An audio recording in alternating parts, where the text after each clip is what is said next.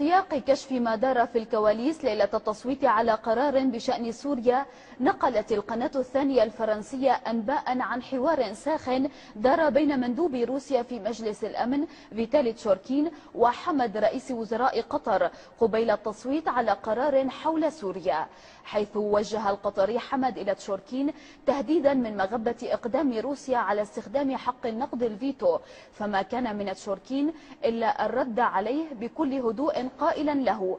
إذا عدت لتتكلم معي بهذه النبرة مرة أخرى لن يكون هناك شيء اسمه قطر بعد اليوم. تشوركين قال إنه يتحدث باسم روسيا العظمى ومع الكبار فقط. مخاطبا حمد أنت ضيف على مجلس الأمن فاحترم نفسك وعد لحجمك.